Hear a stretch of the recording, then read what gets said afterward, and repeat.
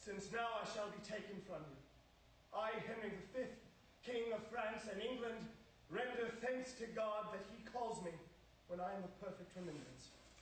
This I say, my brethren and loving friends, if you love me, you ought to love my child, not for his desert, but for mine. I charge you all to render your allegiance unto my son, King Henry VI, as touching the estate of my realm. I command you to love and join together in one league and one unfeigned amity. I will that my brother Humphrey shall be protector of England during the minority of my child, and I command Lord Talbot with fire and sword to persecute Charles, calling himself Dauphin, to expel him utterly from our realm of France. What I have gotten, charge you, keep it. I command you, defend it, and I desire you to nourish it. Credo bona domine. Intera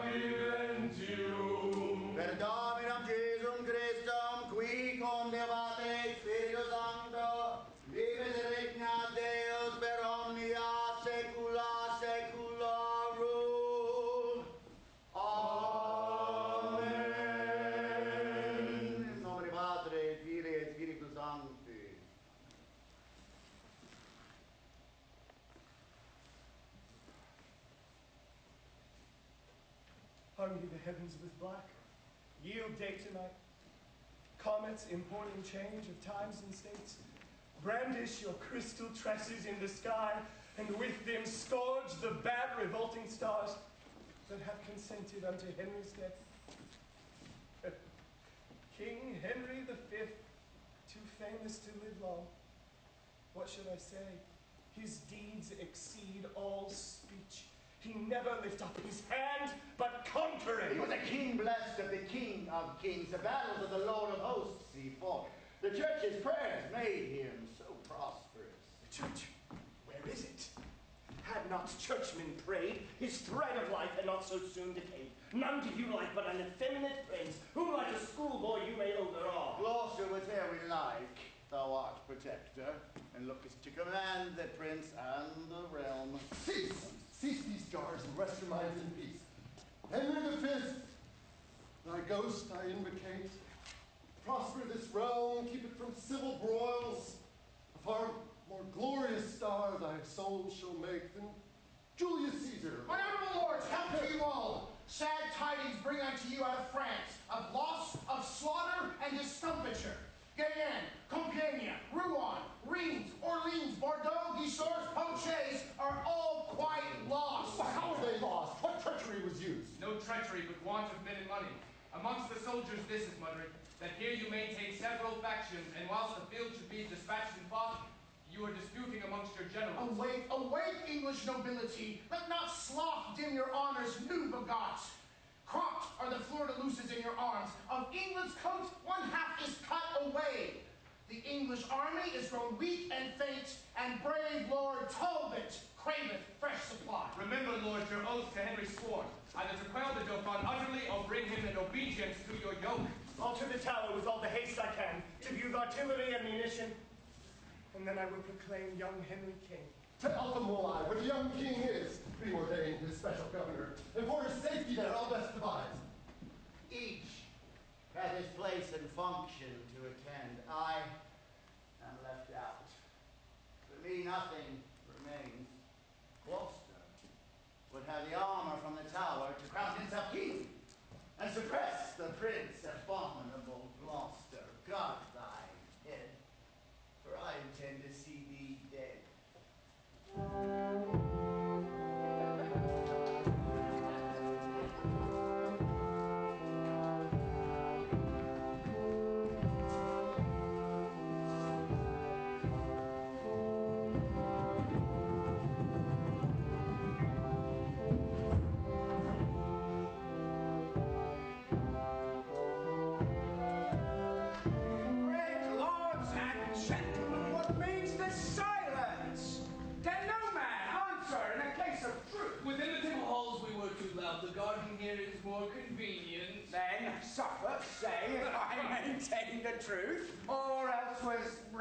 Somerset in the error.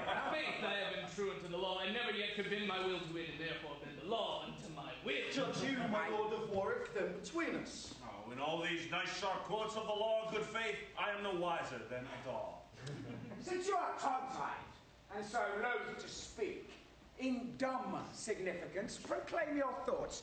Let him that is a true-born gentleman, if he suppose that I have pleaded truth, from off this briar, pluck a white rose with me. Let him that is no coward, nor no flatterer, but dare maintain the party of the truth, pluck a red rose from off this thorn with me. Hmm, I love no color, and without all color, of base, insinuating flattery. I pluck this white rose with contact. I pluck a red rose with young Somerset here, and say withal I think he held the right. Say it, lords and gentlemen, and pluck no more, till you conclude that he upon whose side the fewest roses have been cropped from the trees shall yield to the other in the right opinion. Good Master Vernon, it is well objected. If I have fewest, I subscribe in silence. And I.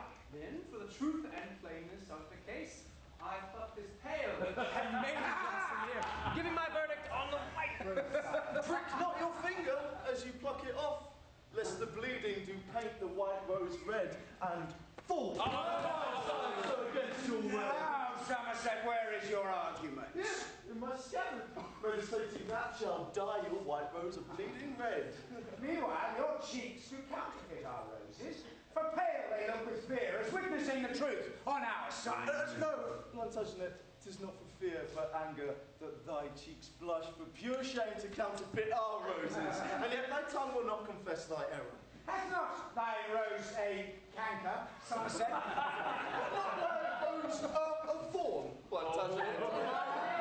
Sharp and piercing to maintain its truth. Well, I'll find friends to wear my bleeding roses that shall maintain what I have said is true.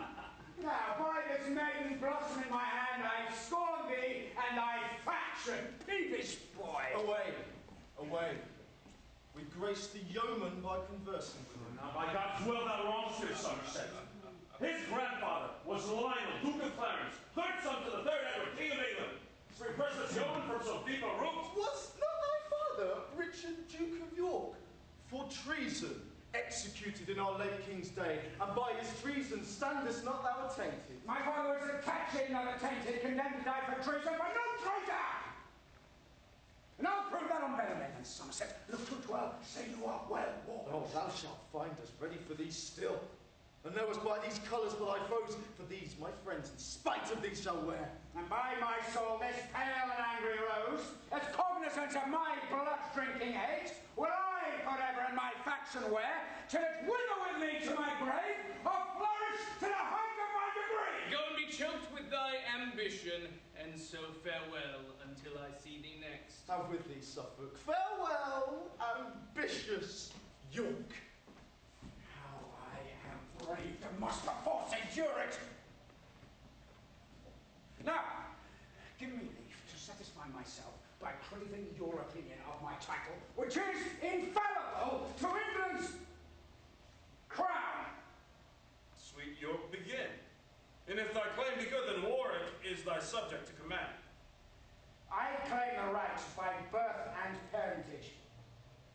For by my mother I derive it am from Lionel Duke of Clarence, the third son to King Edward III, while Henry from John of Gaunt doth trace his pedigree, being but fourth of that heroic line. So, if the issue of the elder son succeed before the younger, I am king. What plain proceedings is more plain than this? Henry doth claim the crown from John of Gaunt, the fourth son. York claims it from the third. And so, in signal of my love to thee, will I upon thy party wear this rose.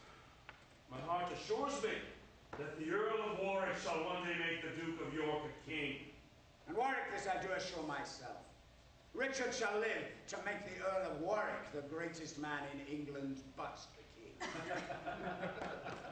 And here I prophesy this brawl today, grown to this faction in this temple garden. shall one day send between the red rose and the white a thousand souls to death in deadly night. Ah, come, let's sit to dinner. I dare say this quarrel will drink blood another day. Stay, sir. Darest thou maintain the former words thou spakest against my lord, the Duke of Somerset? Sir, rather, Lord, I honor as he is. Why? What is he? As good a man as York? Ye not so? Witness that. Villain! I'll to his majesty and crave I may have liberty to avenge this wrong. When thou shalt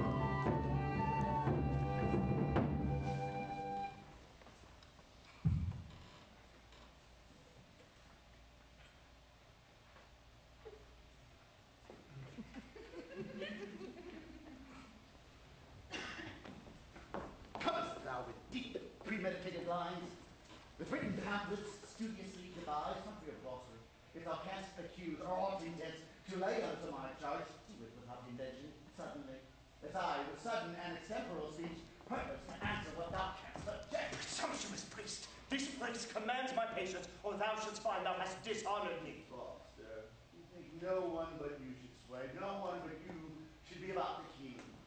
As you shall know, that I am as good as, As good. thou bastard of my grandfather. I, lordly sir, and what are you, I suppose, but one imperious and another strong? Am I not protector, saucy priest? Reverend Gloucester. Thou art reverent as touching thy spiritual function, not thy life. Wrong, but remedy this. Wrong then again! Uncles of Gloucester and of Winchester, the special watchmen of our English wheel, I would prevail if prayers might prevail to join your hearts in love and amity. What a scandalous into our crown that two such noble peers as he should jar. Believe me, lords, my tender years can tell civil dissension is a viper's worm that gnaws the bowels of the commonwealth. Yield, my lord protector. Yield, Winchester. He shall submit, or I will never yield. Compassion on the king commands me stoop. Behold, my lord of Winchester, the Duke hath banished moody, discontented fury. Why look you still so stern and tragical? Here, Winchester, I offer thee my hand. I, Uncle Beaufort, I have heard you preach that malice was a great and grievous sin. And will you not maintain the thing you teach? For shame, my lord of Winchester, relent. Why shall a child instruct you what to do?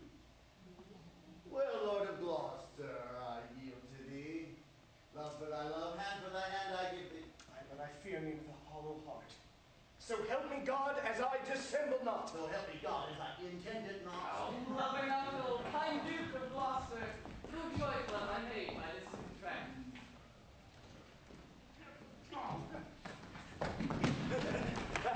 My lord, ready to come, my gracious son. And me, my lord, grant me combat too. Yeah, this is my servant him, your highness. And this is mine, sweet Henry, favor him. Be patient, lords, is given leave to speak. This fellow here, with envious carping tongue, upbraided me about the rose I wear, saying the sanguine colour of the leaves did represent my master's blushing cheeks. In computation of which rude reproach, and in defence of my lord's worthiness, I crave the benefit of law of arms. And that is my petition, noble lord, for he first took exceptions at this badge, pronouncing that the paleness of this flower bewrayed the faintness of my master's heart. Will not this malice Somerset be left? Your private grudge, my lord of York, will out yet there so cunningly you smother. Good cousins, both of York and Somerset, quiet yourselves, I pray, and be peace. Let this dissension first be tried by fight, and then your highness shall command a peace. The quarrel touch of number us alone, betwixt ourselves let us decide it then. Are you not ashamed? With this immodest, clamorous outrage to trouble and disturb the king and us? And you, my lords, methinks you do not well to bear with their perverse objections, much less to take occasion from their mouths to raise a mutiny betwixt yourselves. Let me persuade you. Take a better course. It grieves his highness. Good my lords. Let me be umpire in this doubtful strife. I see no reason if I wear this rose that anyone should therefore be suspicious. I'm more inclined to Somerset than York. Both are my kinsmen, and I love them both. Cousin of York, we institute your grace to be our regent in our realm of France. And with my lord of Somerset, unite your troops of horsemen with his, with his bands of foot. Go cheerfully together and digest your angry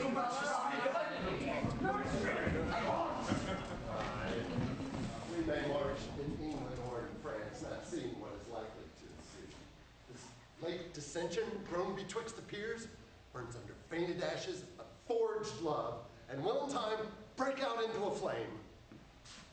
Now I fear that fatal prophecy, which in the time of Henry V was in the mouth of every sucking babe, that Henry born at Monmouth should win all, and Henry born at Windsor should lose all, which is so plain Exeter doth wish his days may finish ere that hapless time.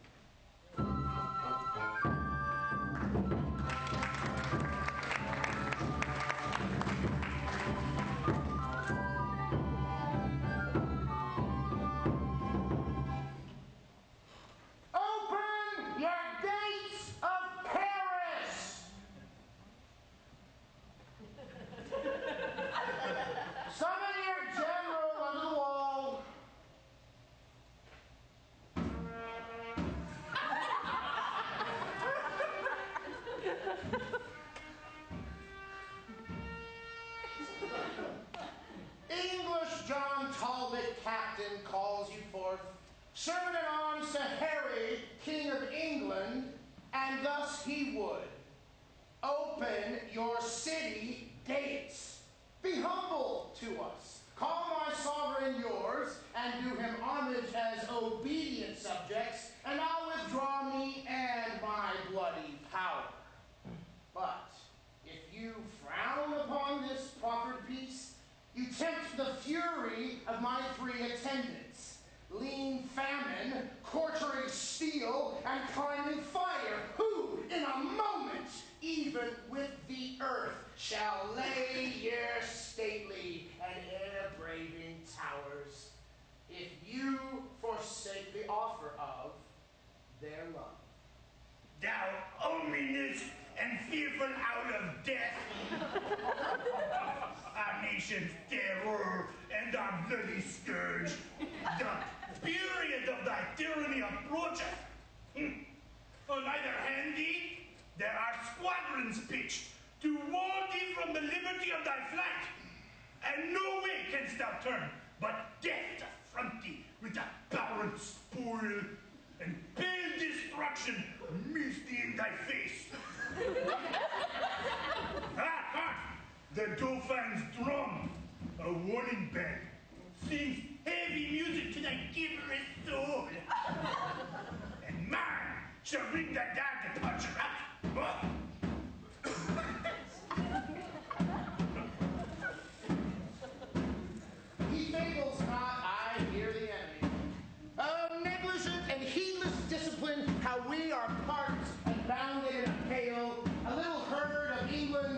timorous deer, mazed with a yelping kennel of French curs.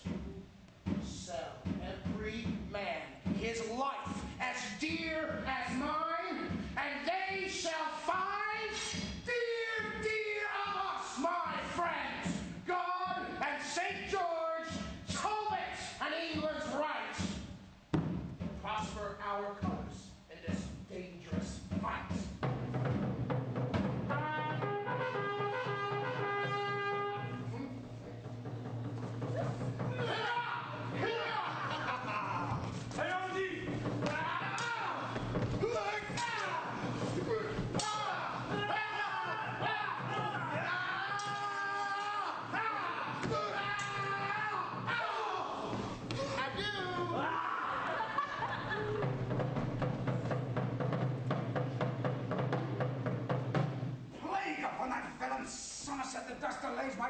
supply of horsemen that were levied for this siege.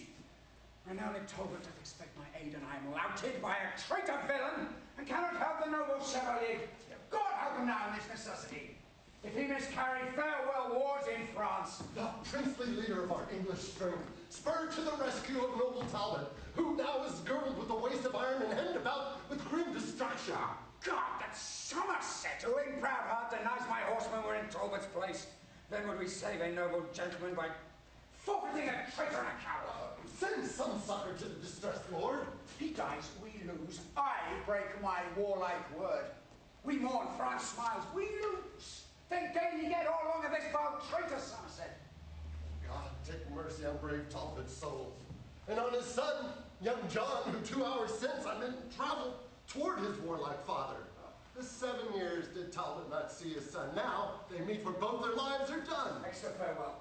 No more my fortune can, but curse the cause I cannot help the man.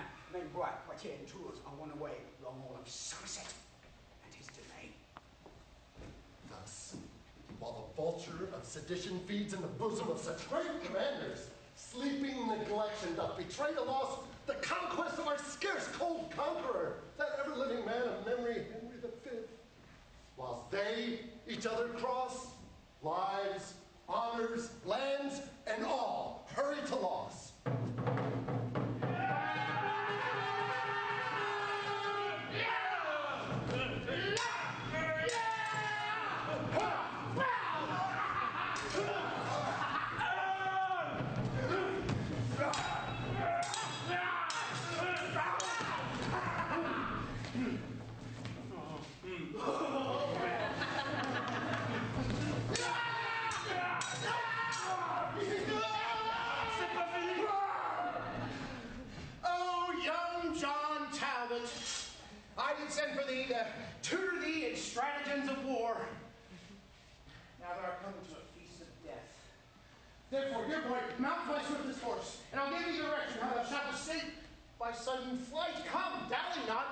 Gone. My name Talbot, and am I your son, and shall I fly?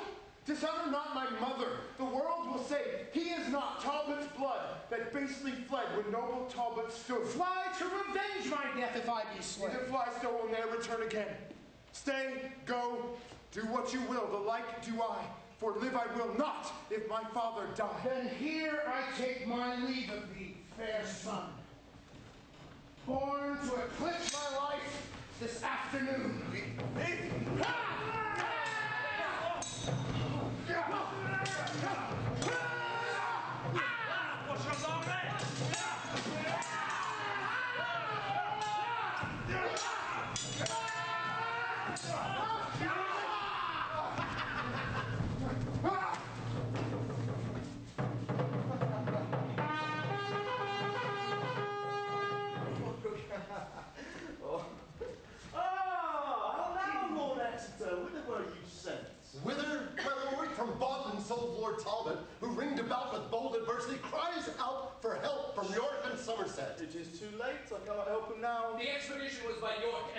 And Talbot too rashly plotted. The o'erreaching Talbot has sullied all the gloss of former glory with his unheedful, desperate, wild adventure. York set him on to fight and die in shame. The Talbot dead, great York might bear the name. Let not your private discord keep away the levied succors that should lend him aid. York set him on, York should have sent him aid. And York is fast upon your grace exclaimed, Oh. swearing you withhold his levied horse collected for this expedition. York lies. He might have sent and had the horse. I owe him little duty and less love, and take foul scorn to fall on him by sending. The fraud of England, not the force of France, hath now entrapped the noble-minded Talbot. Never to England shall he bear his life, but dies, betrayed to fortune by your strife. Come, go. I will dispatch the horseman straight within six hours. They will be at his aid. Too late comes rescue. He's either ta'en or slain. Will if he be dead, great Talbot then a Jew. His fame lives in the world, his shame in you.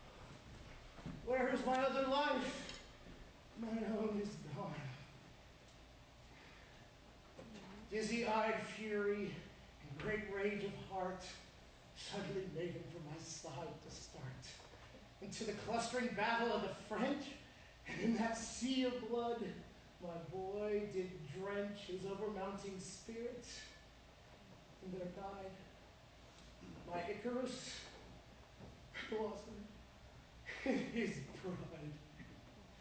Oh, where's young Thomas? Where is nothing? Talk.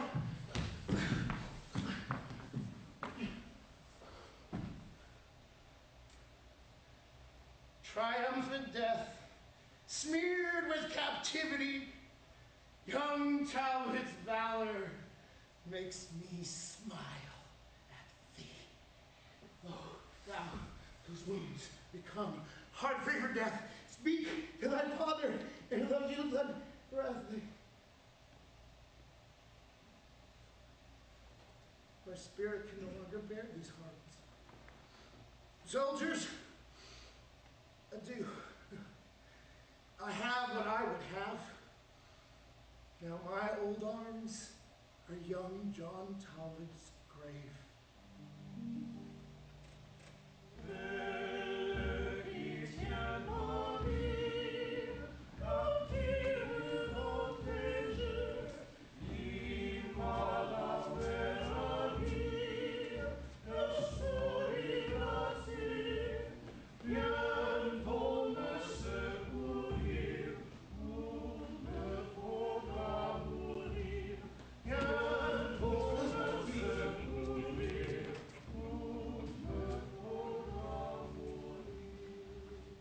What thou wilt, thou art my prisoner. O fairest beauty, do not fear nor fly, for I will touch thee but with reverent hands. Who art thou? Say that I might honor thee. Margaret my name, and daughter to a king, the king of Naples, whosoe'er thou art. An earl I am in Suffolk, am I called. Be not offended, nature's miracle. Thou art allotted to be tamed by me, but if this servile usage once offend, go and be free again, and Suffolk spread. Oh, stay, I have no heart to play. Go, I feel freer, but my heart says no. Say, Earl of Suffolk, if thy name be so, what ransom must I pay before I pass? For I perceive I am thy prisoner. She's beautiful, and therefore to be wooed. She is a woman, therefore to be won. Wilt thou accept of ransom, yea or no? Fond man, remember that thou hast a wife. How then canst Margaret be thy paramour? He talks at random, sure the man is mad. I'll win this lady Margaret, for whom? Why, for the king! Tush, there's a wooden thing. He talks of wood, he is some carpenter. Madam, I have a secret to reveal. I enthralled to be seen tonight, and will not anyway dishonored. Lady, and listen what I say. Perhaps I shall be rescued by the French, and then I need not crave his courtesy. Sweet madam, give me hearing in a call. Tush, women have been captivated ere now. Lady, wherefore talk you so? I cry you mercy, keep what quid for quo.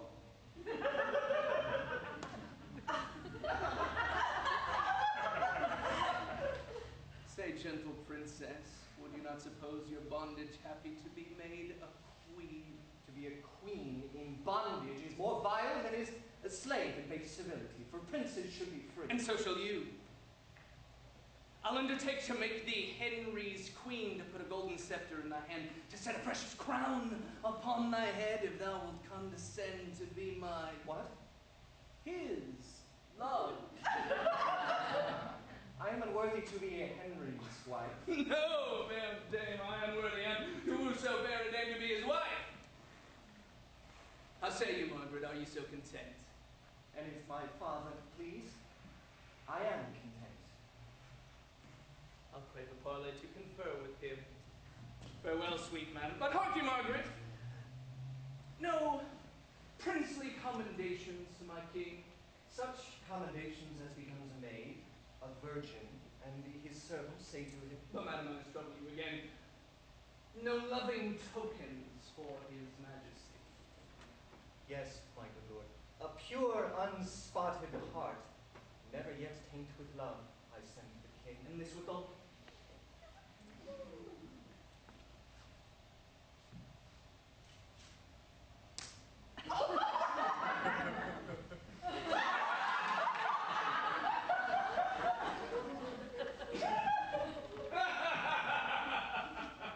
That for thyself, for I would not so presume to send such peevish tokens to a king.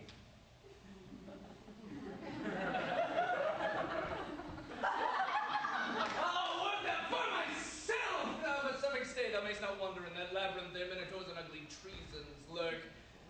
Solicit Henry with her wondrous praise that may bereave him of his wits with wonder, for so my fancy shall be satisfied, and peace established between these realms.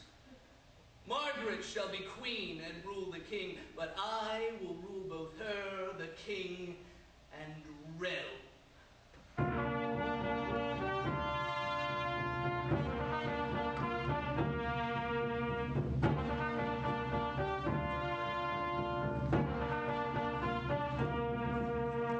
Have you perused the letters from the Pope? I have, my lord, and their intent is this. They humbly sue unto your excellence to have a godly peace concluded of between the realms of England and of France. that you expect a motion. Well, my lord, and as the only means to stop effusion of our Christian blood, I marry, uncle, for I always thought it was both impious and unnatural that such humanity and bloody strife should rule among professors of one faith.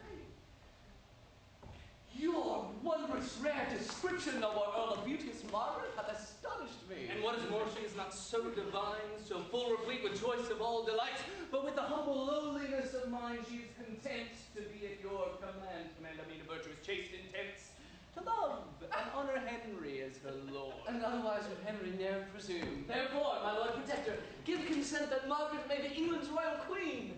so should I give consent to flatter sin?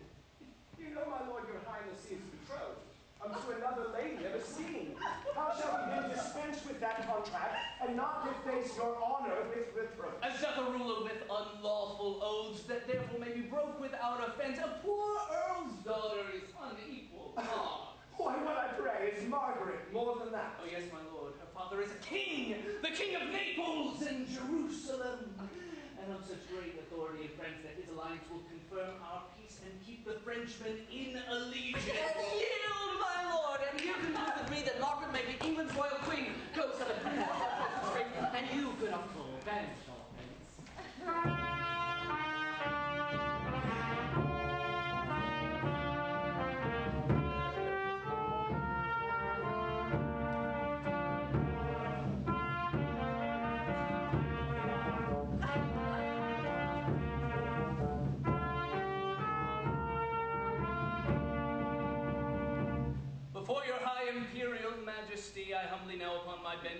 Sight of England and her lordly peers deliver up the Lady Margaret, the happiest gift that ever Marquis gave, the fairest queen that ever king received. Suddenly arise. Well, Margaret.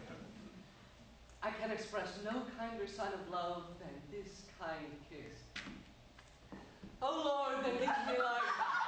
Lend me a heart replete with thankfulness, for thou hast given me in this beauteous face a world of earthly blessings to my soul.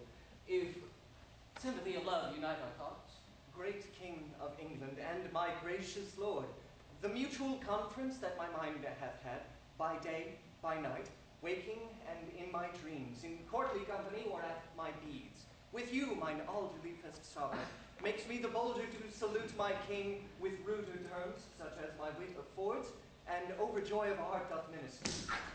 her sacred reverence, but her grace in speech makes me from wondering fall to weeping joy, such as the fullness of my heart's content. Lords, with one cheerful voice, welcome my love. Long live Queen Margaret, England's happiness!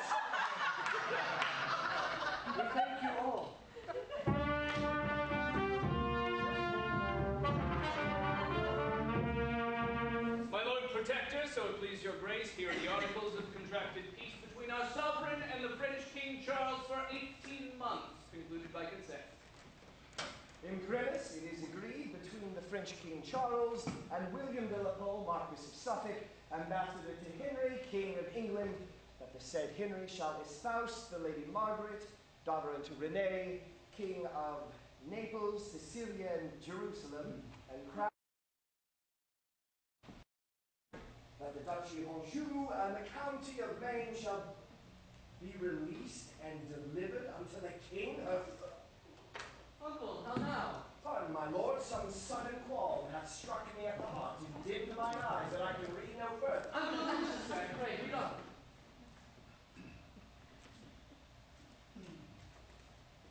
Uh, Item. Tis also agreed between the two of them that the Duchess of Anjou and Maine shall be released and delivered to the king, her father. And she shall be sent over of the King of England's own cost and proper charges without having any dowry. They please us well. Lord Marquis, kneel down. We here create thee the first Duke of Suffolk and gird thee with the sword. Cousin of York, we here discharge your grace from being regent in the parts of France till term of 18 months full expired. My lords, we thank you all for entertainment to my princely queen. Come, let us in and without speed provide to see her coronation be performed.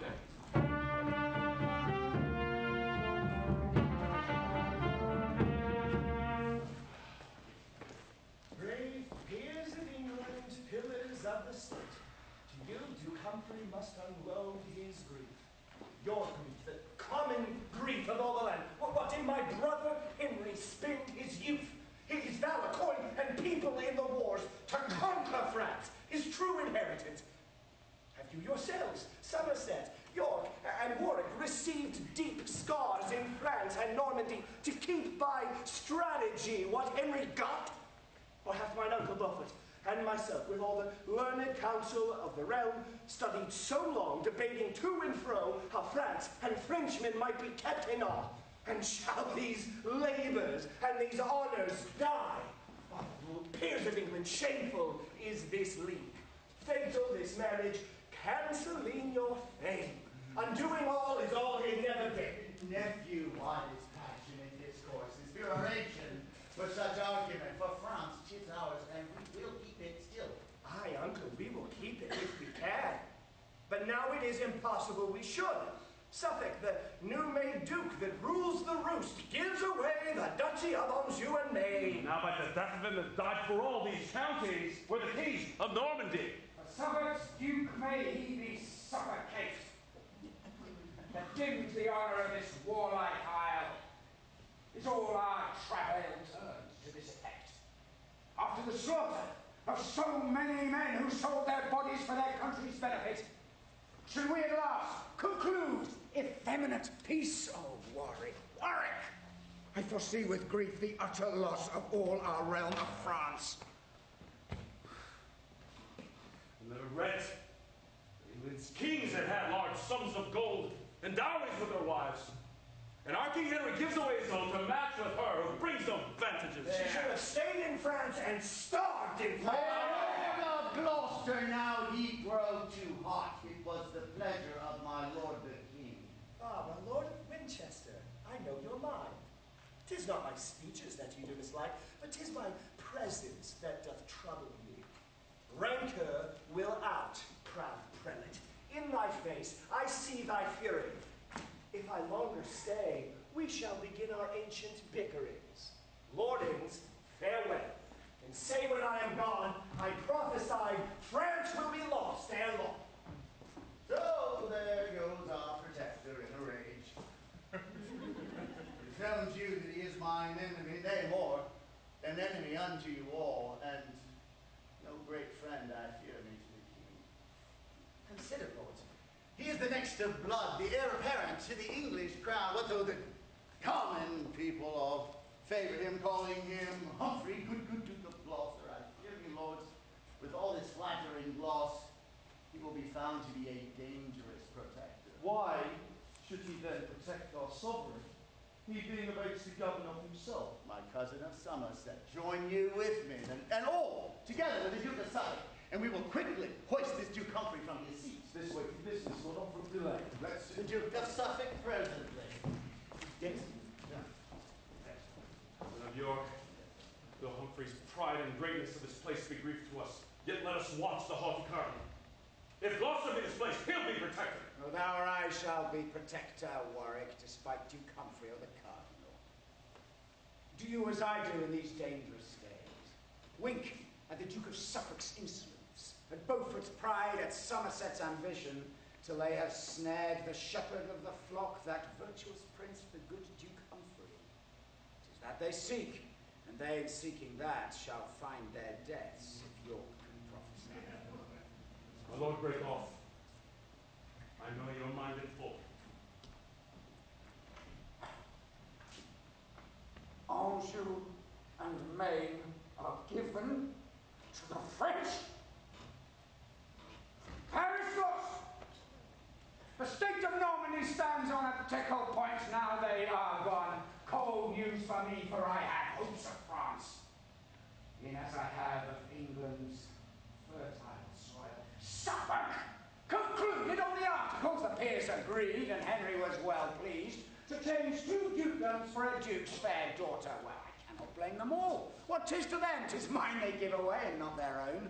Day will come when I shall claim the crown, for that's the golden mark I seek to hit. Nor shall proud Lancaster usurp my rights, nor hold that sceptre in his childish fist, nor wear the diadem upon his head, whose church-like humour fits not for a crown. York be still a while. To time you, sir. Watch thou and wait, while others be asleep, to prize the secrets of the state. Till Henry surfeit in the joys of love with his new queen and England's dear bought bride, and Humphrey with the peers be fallen at jars. Then shall I raise aloft the milk white rose with whose sweet smell the air shall be perfumed, and in my standard bear the arms of York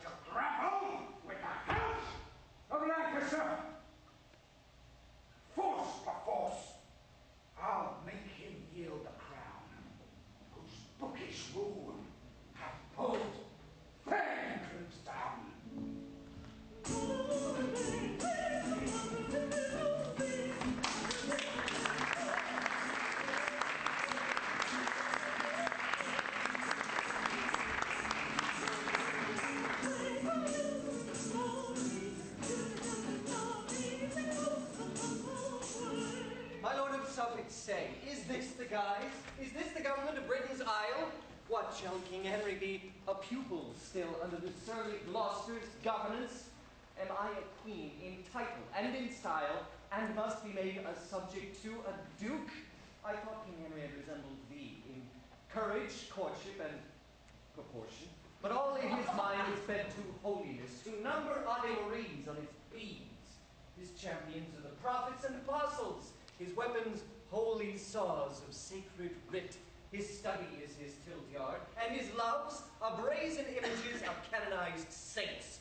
I would the College of Cardinals would choose him Pope and carry him to Rome and set the triple crown upon his head. That were a state fit for his holiness. Madam, be patient. As I was cause your highness came to England, so will I in England work your grace's full content. Beside the haughty protector, have we Beaufort, the imperious churchman, Somerset, Warwick, and grumbling York, and not the least of these but can do more in England than the king. Madam, listen to me. Although we fancy not the cardinal, yet must we join with him and with the lords until we brought Duke Humphrey in disgrace. Then one by one we'll weed them all at last, and you yourself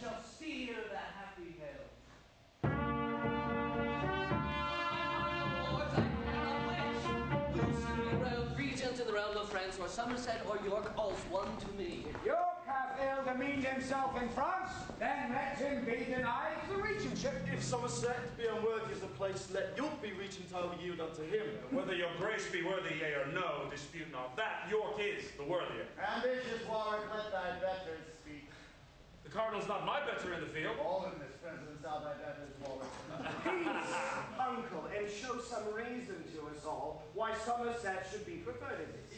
Because the king, forsooth, will have it so. Madam, the king is old enough himself to give this censure. These are no women's matters.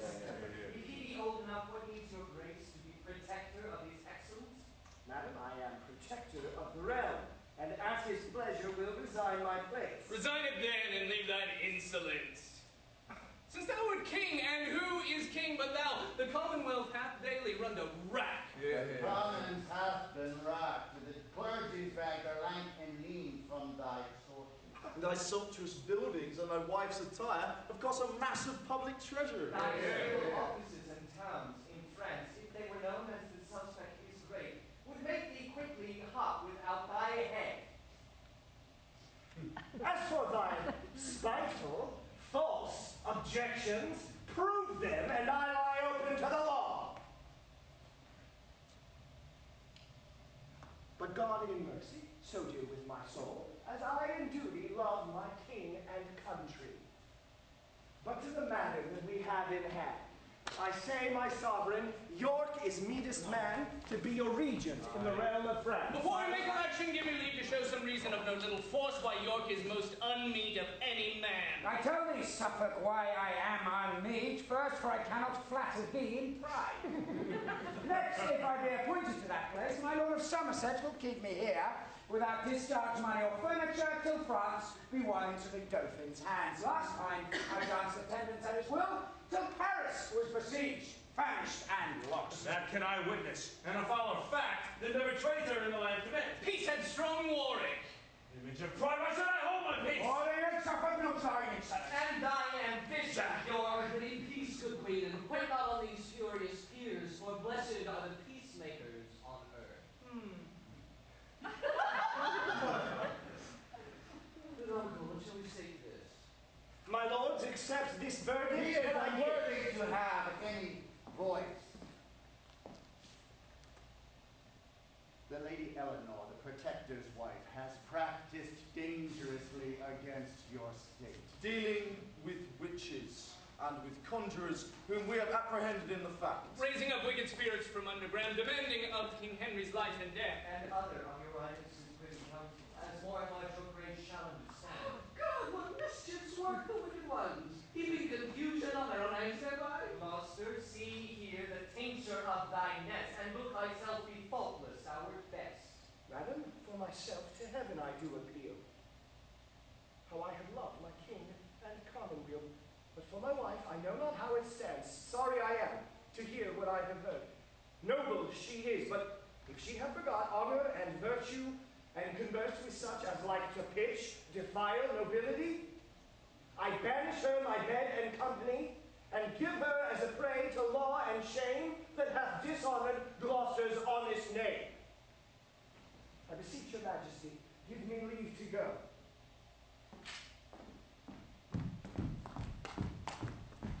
Stay, Humphrey, Duke of Gloucester, ere thou go. Give up thy staff. Henry will to himself protect thee, and God will be my hope, my stay, my guide, my lantern to my feet, and go with peace, Humphrey, no less beloved than when thou wert protector to thy king. Give up your staff, sir, and the king in his realm.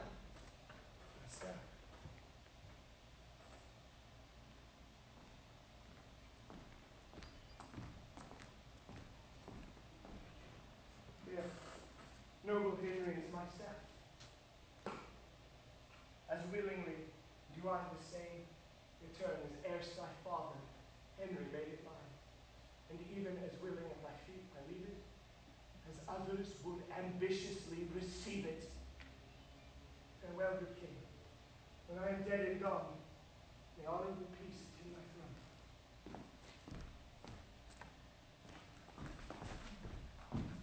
Why not is Henry king, and Margaret queen, and Humphrey Duke of Gloucester scarce himself?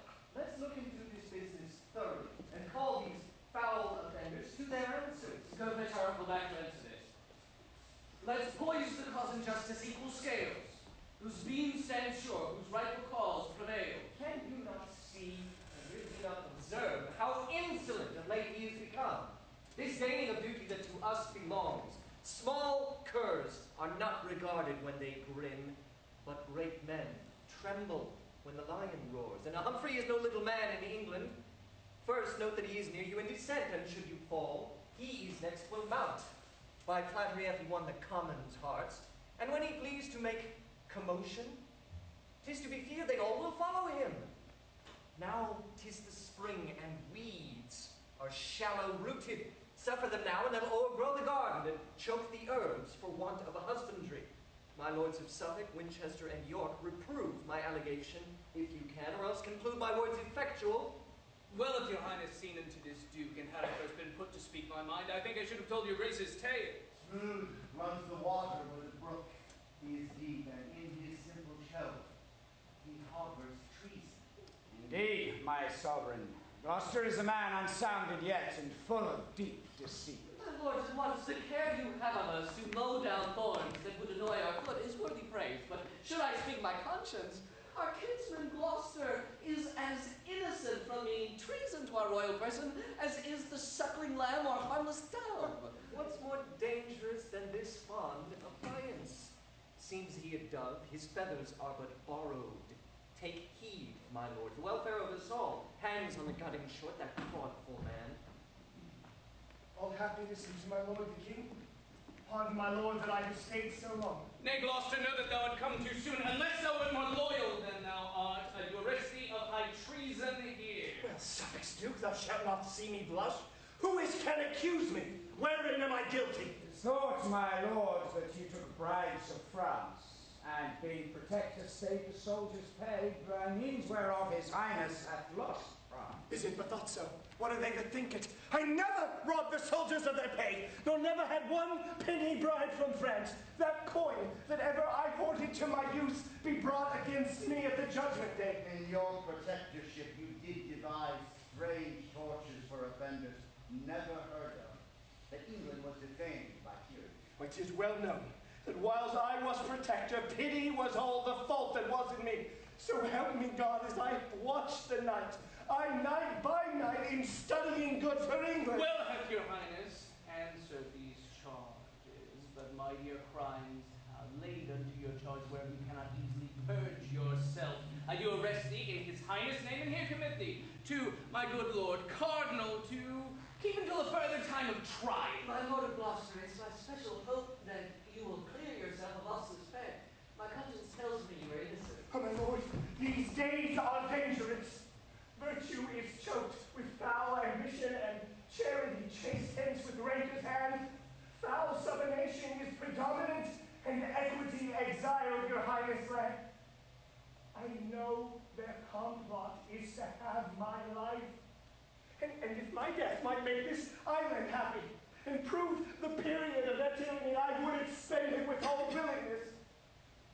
Mine is made the prologue to their play. For thousands suspect no peril will not conclude their plotting tragedy. Oh, Beaufort's red, sparkling eyes blab his heart's malice. In Suffolk's cloudy brow, his stormy hate. Sharp Somerset, unburdened with his tongue, the envious load that lies upon his heart. And dogged York, that reaches at the moon, whose overweening arm I have plucked back accused that level at my life. And you, my sovereign lady with the rest, causeless, have laid disgraces on my head, and with your best endeavor have stirred up my briefest liege to be my enemy. I, all of you have laid your heads together and all to make away my guiltless life. My liege, is raving is intolerant. Hath he not put a sovereign lady here with ignominious words, the clerkly cow? I give the loser leave to chide. Far truer spoken than meant. I lose indeed. Beshrew the winners, for they played me false. Go rest the sense and hold the all day. Lord Cardinal, he is your prisoner. First, take the Duke and guard him sure. Oh, Thus King Henry throws away his crutch, before his legs be firm to bear his body. Thus is the shepherd beaten from thy side, and wolves are nothing who shall gnaw thee first. On that my fears are false, on that they are, for good King Henry, thy decay I fear.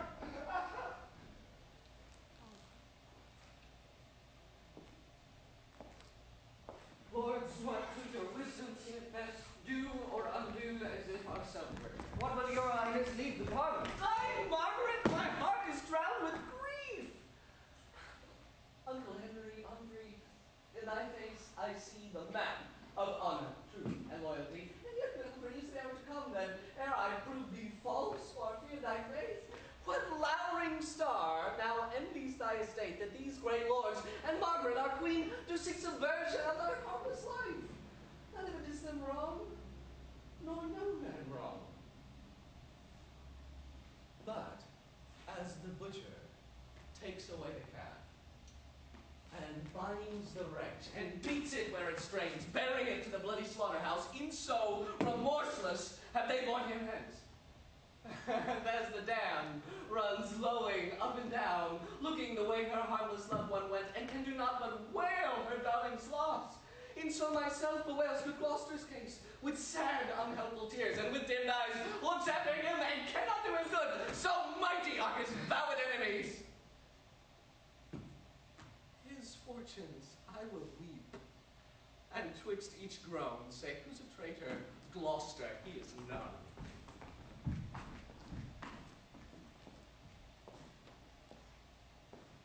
Free lords, cold snow melts with the sun's hot beams. Henry, my lord, is cold in great affairs, too full of foolish pity.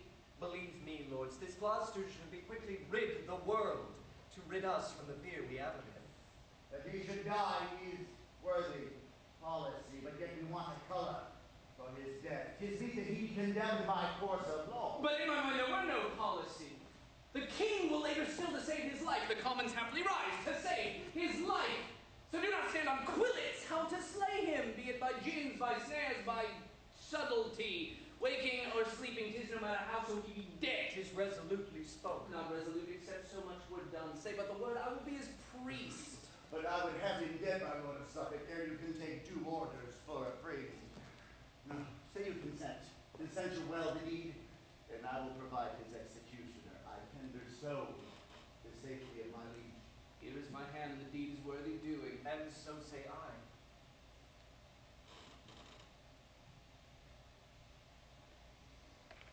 And I. And now we three have spoken. It It skills not greatly who impugns our doom. Great lords, from Ireland am I come amain to signify that rebels there are up and put the Englishmen unto the sword. Send succors, lords, to stop the rage betime. The breach that craves quick expedient stop my lord of York. Try what your fortune is. To Ireland will you lead a band of men and fire half against the Irishmen? I well, my lord, so please his majesty. Why our authority is his consent, and what we do establish he confirms. My noble lord of York, take thou this task in hand, but return we to the false do comfort. No more of him, for I will. Henceforth he shall trouble us no more. My lord of Suffolk, within 14 days at Bristol, I expect my soldiers. From there, I'll ship them all to Ireland. I'll see it truly done, my lord of York. Now York will never be as thou hopest to be. Well, nobles, well, 'tis politically done to send me packing with an host of men. 'Twas men I lacked, and you will give them to me. I take it kindly. Yet be well assured you put sharp weapons in a madman's hands. Was I Ireland, sir, some mighty band, a world shake up in England, some black storm shall blow ten thousand souls to heaven. And this foul temper shall not cease to rage until that golden crown sits on my head. And for a minister of my intent, I have seduced a headstrong Kentishman, John Cade of Ashford, to make the motion, as full well he may, under the title of John Mortimer. By this I shall perceive the commons mind, how they affect the house and claim of York. And say that he be taken, racked, and tortured. I know no pain they can inflict upon him will make him say, I moved him to those arms. Say he thrive, as tis great like he eh? may. Why then, from Ireland come I with my strength to reap the harvest which that coistrel sowed. For Humphrey being dead, as he shall be, and Henry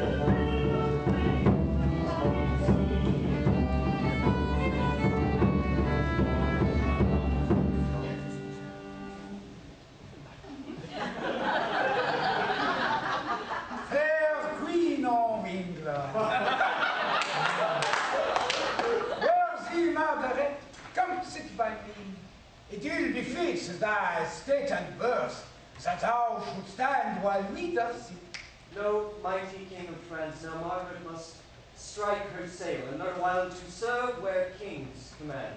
I was, I must confess, great Albion's queen in former golden days, but now mischance hath trod my title down. Plain, Queen Margaret, and tell thy grief, it shall be eased if France can yield her relief. Those gracious words revive my drooping thoughts, and give my tongue-tied sorrows leave to speak. Now therefore be it known to noble Louis that Henry is become a banished man. Proud, ambitious Edward, Duke of York, usurps the regal title and the seat of England's true anointed lawful king. This is the cause that I, poor Margaret, with this my son, Prince Edward, Henry's heir, am come to crave thy just and lawful aid. And if thou fail us, all our hope is done. But look where comes the breeder of my sorrow, for this is he that moves both wind and tide. What's he approaching boldly to our presence? Our Earl of Warwick, Edward's greatest friend. Welcome, brave Warwick. what brings thee to France? From worthy Edward, King of Albion, my lord and sovereign, and thy powered friend. Both. I come in kindness and unfeigned love. First to do greetings to your royal person, and then to crave a league of amity, and lastly to confirm that amity with nuptial knot, if thou vouchsafe to grant the virtuous Lady Bona, thy fair sister, to England's king in lawful marriage. He shall go forward, Henry's hope is done. Gracious madam, in our king's behalf, I am commanded, with your leave and favor, humbly to kiss your hand. With my tongue. to tell the passions of my sovereign's heart, where fame late entering at his youthful ears hath placed thy beauty's image and thy virtue. King Louis and Lady Bona, hear me speak before you and Sir Warwick. His demand springs not from Edward's well-meant honest love, but from deceit, bred by necessity.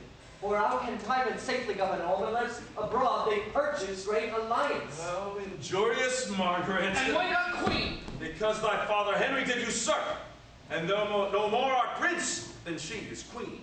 Uh, Queen Margaret, Prince Edward, and Exeter vouchsafe at our request to stand aside while I use further conference with Warwick. Heaven's grant Warwick's words bewitch him not. Now tell me, Warwick, in upon thy conscience, is Edward thy true king? For I our loath to link with him that were not lawfully chosen. Ah, thereon I pawn my credit and mine honor. But is he gracious in the people's eye? Uh, the more that Henry was unfortunate. Then further, all dissemblance set aside, tell me, for truth, the measure of his love unto our sister. Oh, Such it seems, as may beseem a monarch like himself. Myself have often heard him say, and swear, that this his love was an eternal plant, whereof its root was fixed in virtue's ground, its leaves and fruit maintained with beauty's sun, exempt from envy, but not from disdain, unless the Lady Bona quit his pain. Now, sister, let us hear your firm resolve. Your grant or your denial will be mine. Yet I confess that often there's a day when I heard your king's desert recounted, ear the judgment to desire. Then Warwick thus, our sister shall be Edward's. Uh, draw near, Queen Margaret, and be a witness that Bona shall be wife to the English king. Deceitful Warwick, it was by this alliance to make my suit. Before thy coming, Louis was Henry's friend. And still is friends to him and Margaret. Yet if your title to the crown be weak, as may appear by Edward's good success, it is but reason that I be released from giving aid which late I promised said. Shall you have all kindness at our hand as your estate requires, and mine can heal. Henry, having nothing, nothing can he lose. And as for yourself, our quondam queen, you have a father able to maintain you, and better toil you trouble him than France. Peace, impudent and shameless Warwick, peace. Prom, set her up and pull her down of kings, I will not hence, to with my talk and tears, both full of truth, I make King Louis behold thy sly conveyance and thy lord's false love, for both are birds of self-same feather. My lord ambassador, this letter is for you.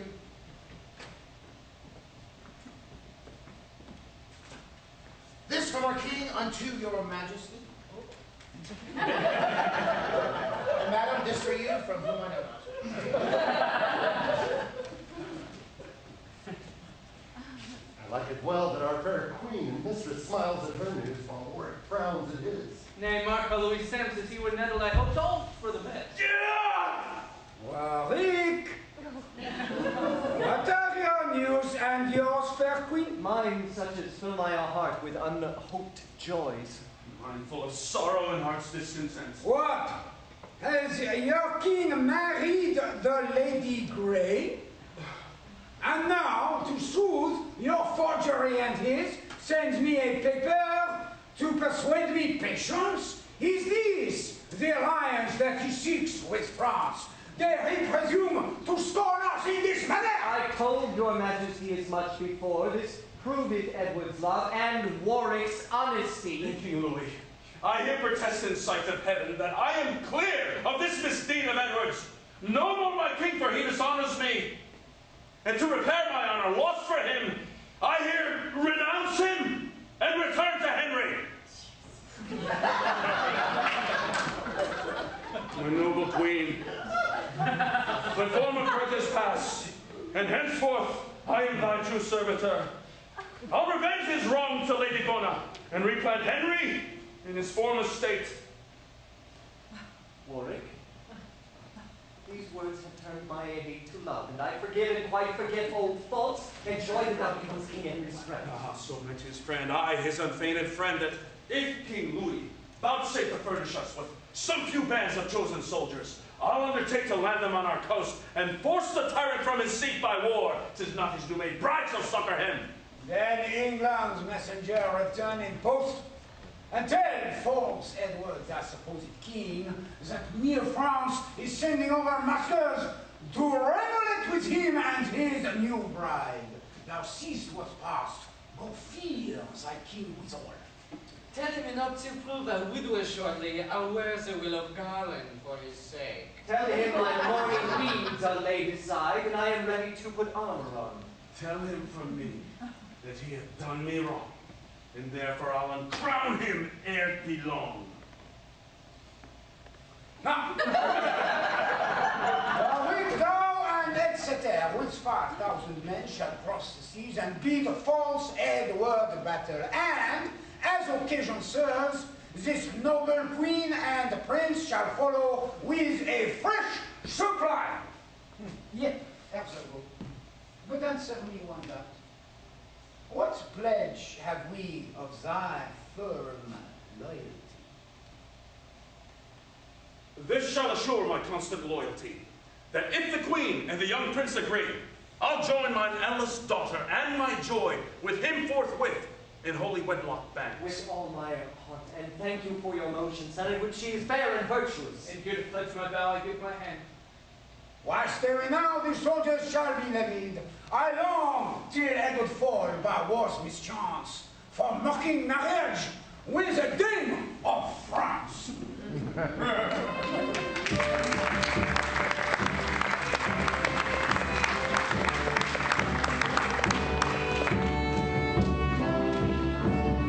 I came from Edward as ambassador, but I returned his sworn and mortal foe.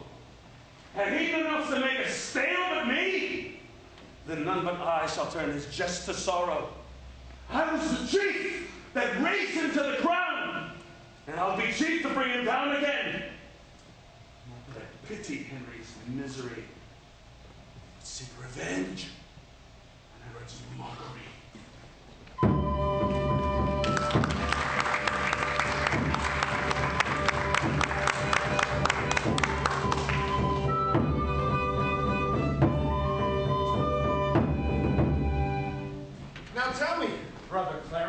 Think you of this new marriage with the Lady Grey?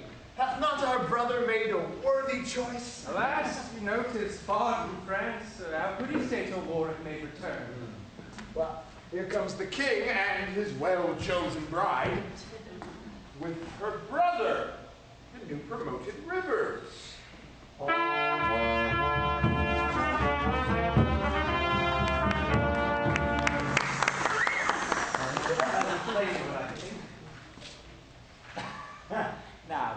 Clarence, how like you are choice that you stand pensive, as if half malcontent.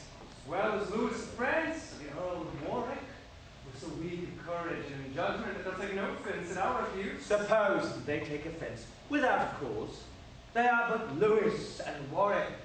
I am Edward. Your king and Warwick so must have my will. And you shall have your will, because our king, yet hasty marriage seldom proveth well. Oh, and ye, by the rich are you offended too? Not I, no, God forbid. I should wish them parted whom God hath joined together. Aye, and twere pity to sunder them that yoke so well together.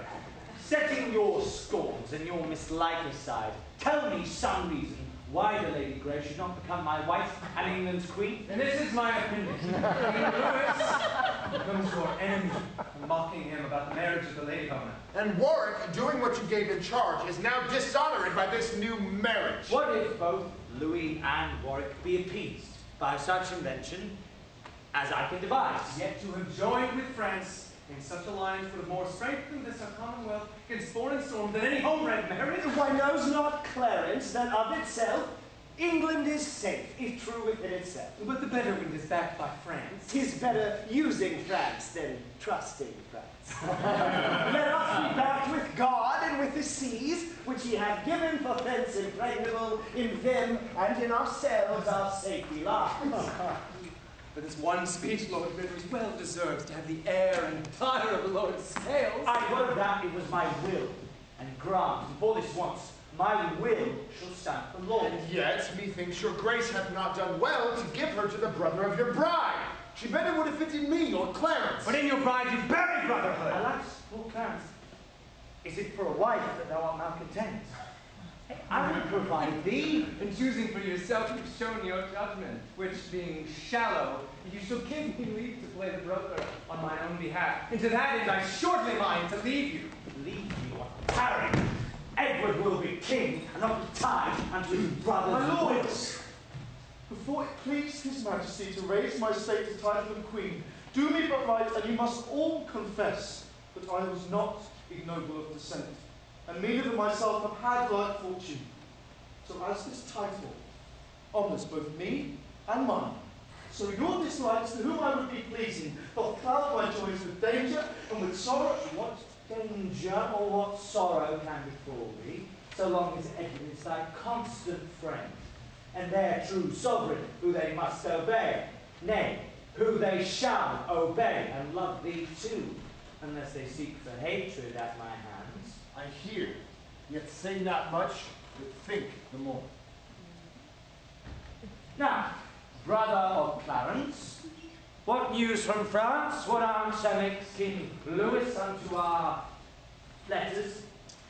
Go tell false Edward, thy supposed king, that Louis of France is sending over maskers to revel with him and his new bride. Is Louis so brave? The like he thinks me Henry. but what said Warwick unto our marriage? Warwick? Go tell him from me that he hath done me wrong. Therefore I'll uncrown him ere it be long. Ha! But does the traitor breathe out so proud words? Well, our army, being thus forewarned. They should have wars and pay for their presumption. But say, is Warwick friends with Margaret? By gracious sovereign, they are so linked in friendship that young Prince Edward marries Warwick's daughter. Belike like the elder Clarence will have the younger. Now, brother king, farewell, and sit you fast, for I'll hence to Warwick's other daughter, that though I want a kingdom, yet in marriage I may not prove inferior to yourself. You that love me and Warwick, follow me.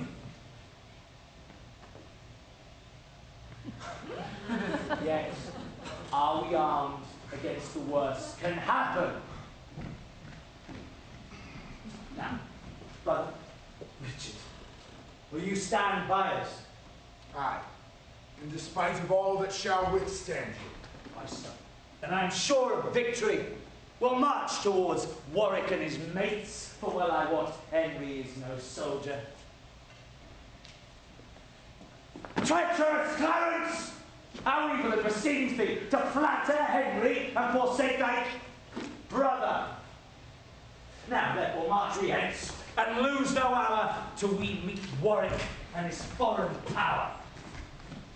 These news, I must confess, are full of grief. Then, gracious system, bear it as you may. Warwick may lose as well as win the day. Till then, fair hope must hinder life's decay, and I the rather wean me from despair for love of Edward's offspring in my womb. I'll henceforth with him to the sanctuary, to save at least the heir of Edward's right. There shall I rest from force and fraud. Come, therefore, brother Rivers, let us fly. If Warwick takes us, we are sure to die.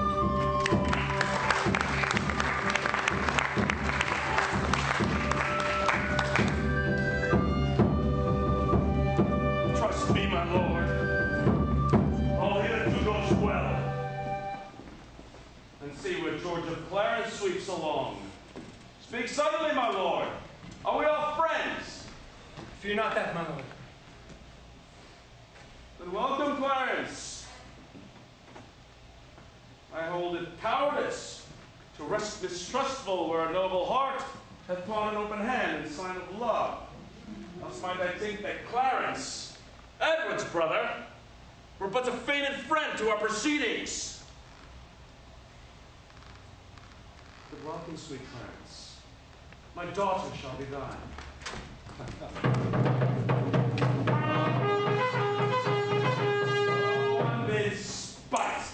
This sportful Edward's tongue. Now, Warwick, wilt thou kneel for grace, call Edward king, and at his hands beg mercy, and we will pardon thee these outrages. Nay, rather, wilt thou draw thy forces hence, confess who set me up and pluck thee down, call Warwick patron, and be penitent, and thou shalt still remain the Duke of York. I thought at least you would have said the king. Twas I that gave the kingdom to thy brother. But, weakling, Warwick takes his gift again. And Henry is my king, Warwick his subject. Yeah. But Warwick's king is Edward's prisoner. And ten to one, you'll meet him in the tower. Come, Warwick, take the time. Kneel down. Kneel down! I would rather take this hand and chop it off with a blow, and with the other fling it at thy face than bear so low a sail to strike to thee. And lo, where George of Clarence stands by me, with whom an upright zeal to right prevails, more than the nature of a brother's love. Come, Clarence, come. Thou wilt if Warwick call. Come, Clarence, come. Thou wilt if Edward call.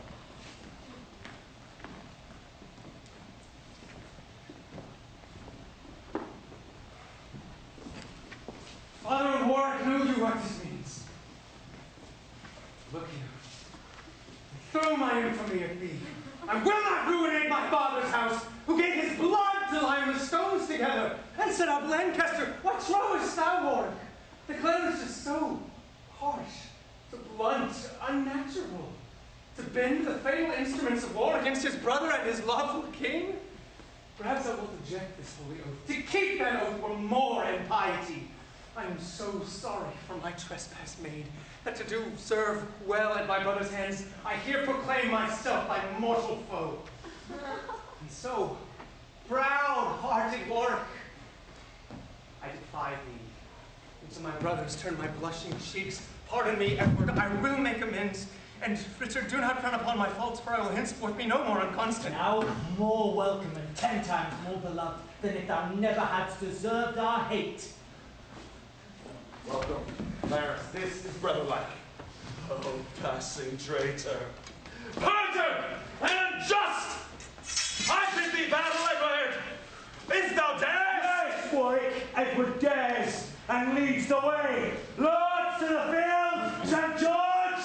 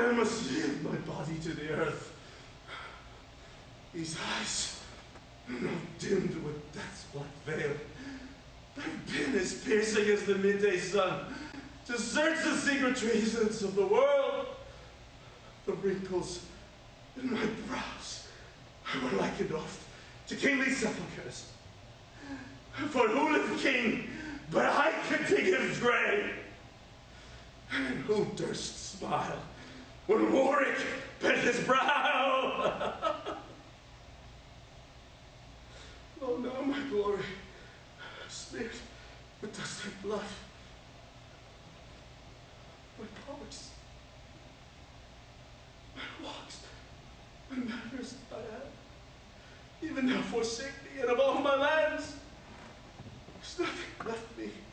But my body's leg. I want his pomp, rule, reign, earth and dust,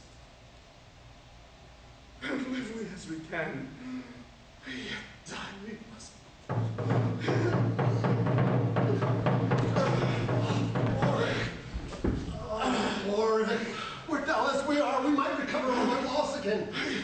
And our puissant power. Ah, our consult fly. Fly, lords, and say of yourself. For war bids you all farewell. To meet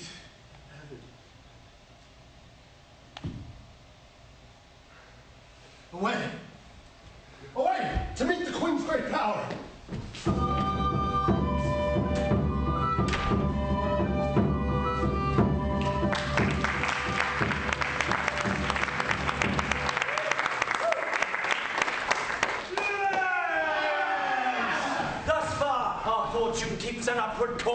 And we are graced with wreaths of victory! But in the midst of this bright, shining day, I spy a black, suspicious, threatening cloud. I mean, my lords, those powers that the Queen hath raised in Gallia have arrived at our coast, and as we hear, march on to fight with us. The Queen is valued 30,000 strong. If she have leave to breathe, be well assured, her faction will be full as strong as ours. We are assured by our loving friends that they do hold their course for Tewkesbury. We'll thither straight. Cry courage! Courage!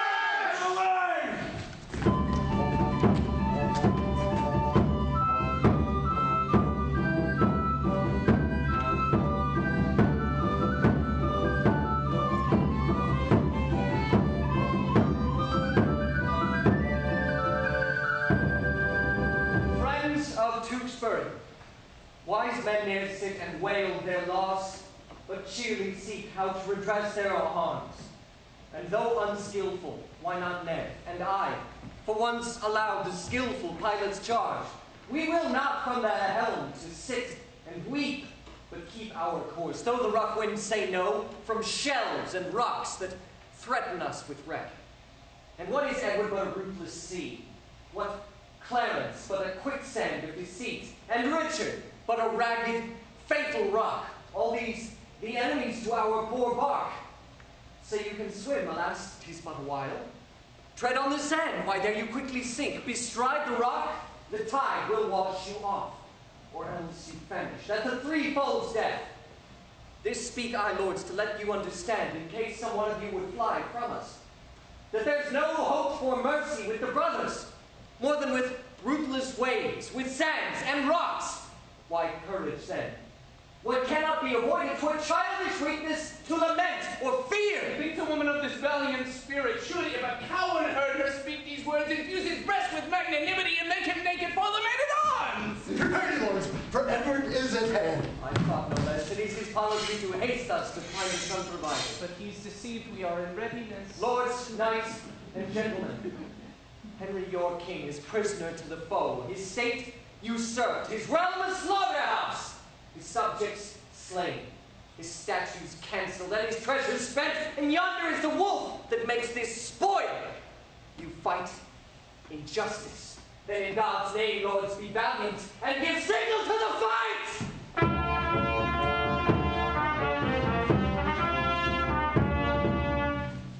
Deathman! You have read this, sweet young Britain! Away with her. Bear her hence perforce. Nay, never bear me hence, dispatch me here. Here, sheathe thy sword, I'll pardon thee my death. What wilt thou now do? Clarence, Clarence, do it thou! My heaven, I will not do thee so much evil. Clarence, do it, sweet Clarence, do it thou! I swear I would not do it. I I charge you, bear her hence! With the hard-favored devil. Richard! Richard, where art thou? Where's Richard gone? To London, all in post, and as I guess, to make a bloody supper.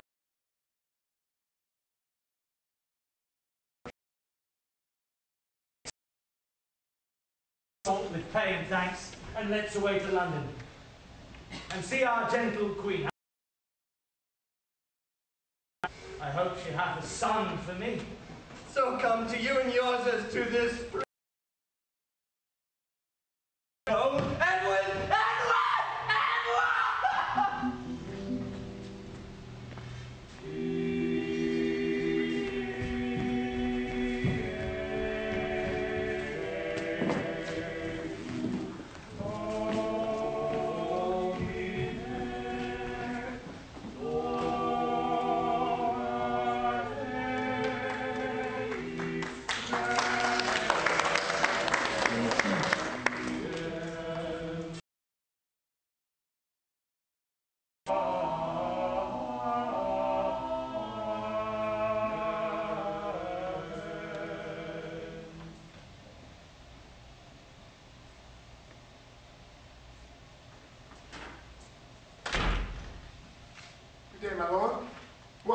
So hard?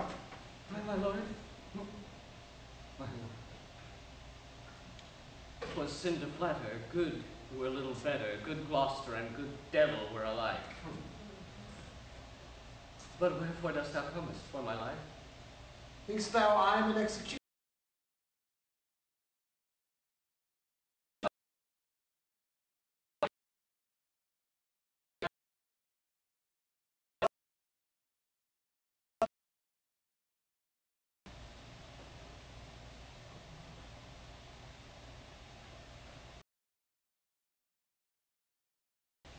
Hast now been killed when first thou didst presume?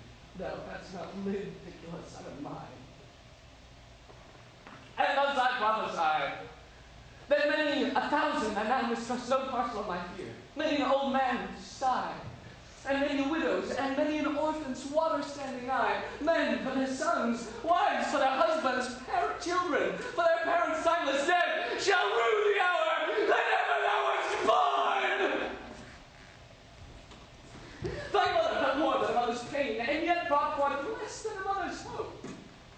To wit, an indigested and a formed lump, not like the fruit of such a goodly tree.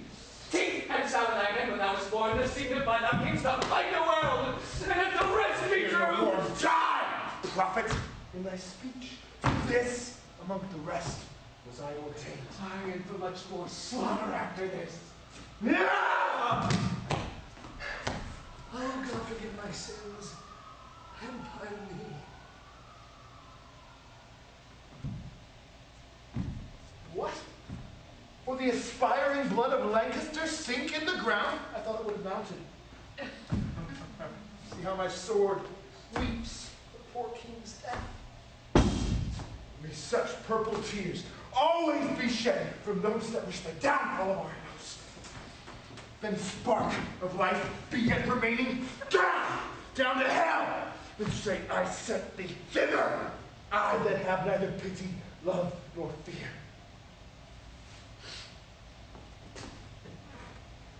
Indeed, 'tis true that Henry told me of. For I've often heard my mother say, I came into this world with my legs forward. Had I not reason, think you, to, to make haste and seek their ruin and usurp our right? The midwife wondered, and the women cried, Oh, Jesus bless us, he is born with teeth! So I was. Which plainly signified that I should snarl and bite play the dog. Then since the heavens have shaped my body so that hell may corrupt my mind answer I have no brother. My like no brother. And this word love, which graybeards call divine, be resident in men like one another, and not in me. I am myself alone.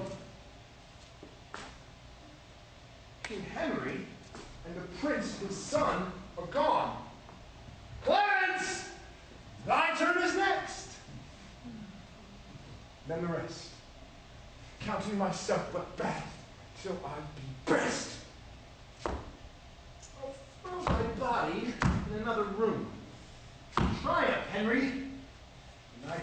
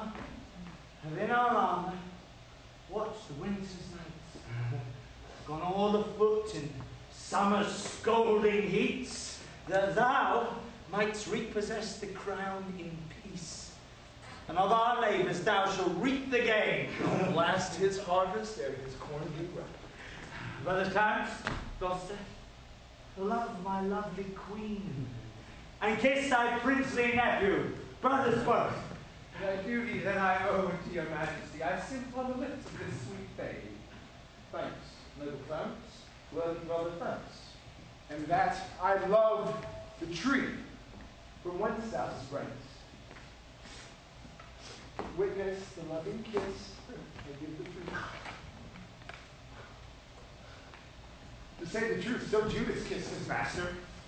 He cried, All hail! And as he meant, all harm.